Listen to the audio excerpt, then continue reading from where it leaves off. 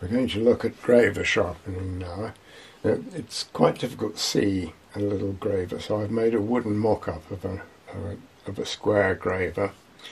Uh, this would be about 2 millimeters to 3 millimeters. The ones I use are standard uh, eighth inch square steel. Now, the for use on steel, the main face is cut off at 45 degrees and then there are two little heels on the bottom here which are ground very small, uh, a total length of about a quarter to a half a millimetre and those are ground with the tool held horizontal parallel to the stone. So we're going to look at how you do that. This is the equipment I use. I've got a power hone which I picked up from a skip outside the university uh, and it's got two I've got two diamond hones from GRS. There's one at 1200 grit and one at 260 grit, which is for the rough shaping of the um, of the of the main face. Right, um, and they they sit on the hone, power hone and here's a swinging arm which has got a 45 degree, what's set to 45 degree at the moment, um, arm that I can use to hold the tool against the stone at the right angle and I've got a little jig here that I can just check that it's running at the right angle. So the first job is to hone the main face and let's assume that I'm going to do it rough so I've put the 260 on here and so I'm going to take a graver here that needs sharpening and I will turn that on and that's just held into a triangular groove in the, in the guide there and moved across the surface of the hone to get my uh, 45 degree face. So having done that, that'll throw up little burrs on the side which I'll take off on this, on this stone. This stone is an extra extra fine DMT stone. Uh, it feels almost entirely smooth. When you get it, it's a bit rough, but after you've used it a while, it's it feels like there's nothing there, but there is actually. Very fine.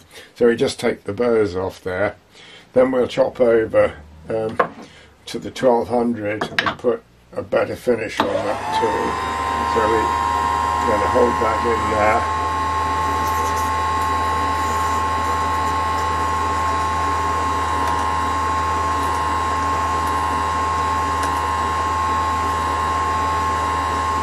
That's given me that's given me my 45 degree uh, face. Just get rid of those little burrs on there again. Now we're ready to put the heels that I showed you these these little ones. Now the amount of metal that's got to be removed this is a quarter of a millimeter long. The amount of metal that's got to be removed from these two faces is is very very small so you can't use a power hone to do it because you just take too much metal away.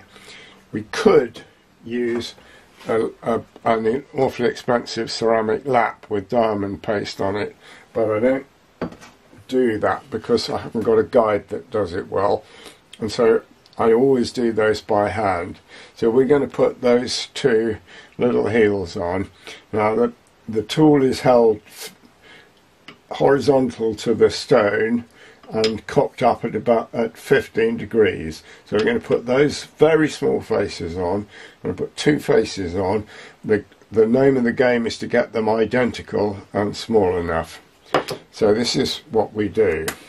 We've got a little rotary, uh, a little gizmo here for running on the stone and we'll put the graver in there. We have another jig which is set to give us that 15 degree angle so we can check it out against the, the angle of the graver and adjust the, the amount of graver that sticks out beyond the end of that to give us our 15 degrees.